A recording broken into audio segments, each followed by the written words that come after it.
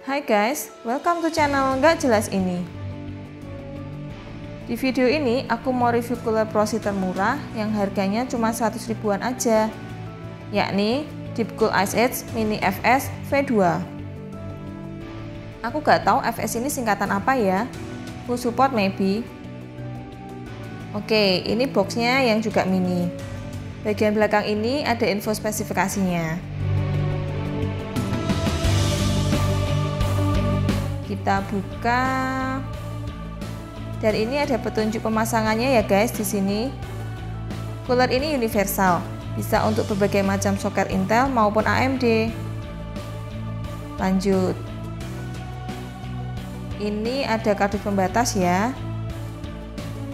Kita ambil dulu coolernya nah ini dia. Ada dua copper head pipe kecil ya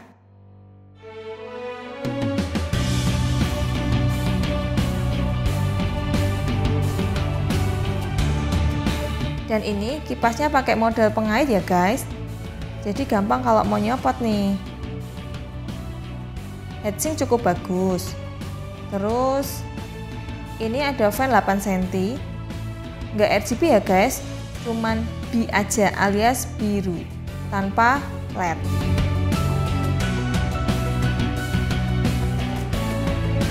Yuk kita lihat kelengkapannya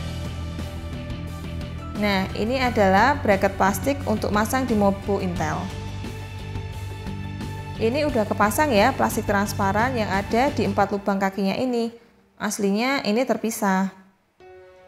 Dan ini ada tulisan kecil untuk indikatornya ya. Supaya lubang plastiknya ini bisa digeser sesuai soket mobo kalian. Nah, ini bracket besi kunciannya ya guys untuk mobo AMD bisa langsung pakai ini aja. Di kedua sisinya ada pengait yang salah satunya adalah kunciannya. Terakhir ini plastik clip isi baut-baut ya guys. Nih. Yuk sekarang kita coba pasang.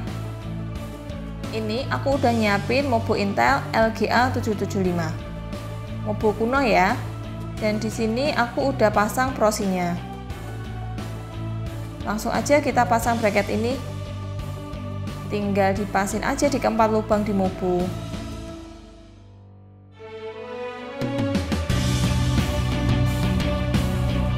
Next, baut plastik ini buat ngunci bracketnya.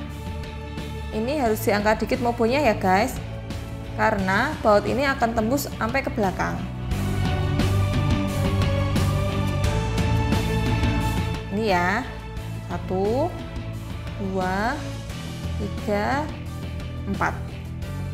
Oke lanjut.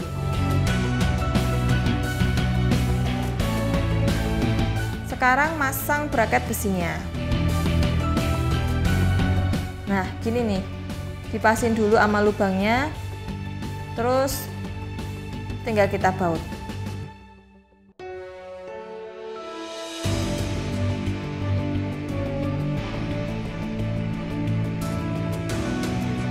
Oke, dan ini udah aku pasang keempat bautnya. Sekarang tinggal masang pengait yang ada di kedua sisinya ini ke bracket plastik yang udah kepasang di mobu.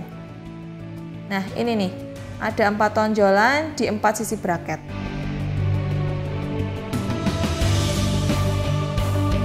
Coba kita tempelin dulu ya tanpa pasta. Nah, ini bisa dipasang berbagai posisi ya. Bisa dibalik gini. Masih ada space. Atau bahkan bisa dipasang posisi horizontal gini. Tapi kalau dibalik gini guys kuncian pengaitnya bakalan nabrak RAM. Jadi nggak bisa kepasang nih. Oke sekarang konfigurasi fan. Ini fannya bisa dibalik atau dipindah posisi sisi sebelahnya ya. Atau kalau mau ditambahin satu fan 8 cm lagi juga bisa. Jadi push and pull. Mantap.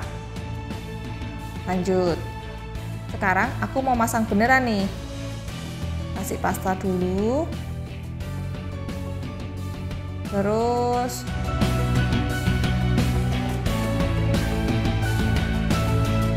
Pasin coolernya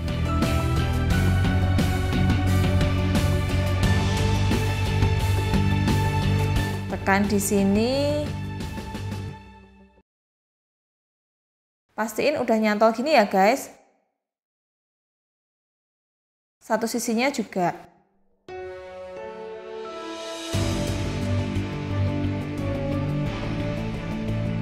Terakhir, jangan lupa pasang kabel fan. Tada! Jadi deh. Performa cooler ini biasa aja ya menurutku. Karena kalau mau aku bandingin sama cooler standar bawaan Intel, suhunya cuma beda dikit aja. Paling cuma beda 2 sampai 4 derajat aja. Ya, maklum lah, kan harganya kere hore gitu ukurannya juga mini yang penting lebih bagus dari standar lah oh iya ini fan-nya cukup silent. Dan kebaca di BIOS di kisaran 2100 rpm ya. Oke okay, that's it guys. Makasih udah nonton. Jangan lupa like and subscribe ya. See you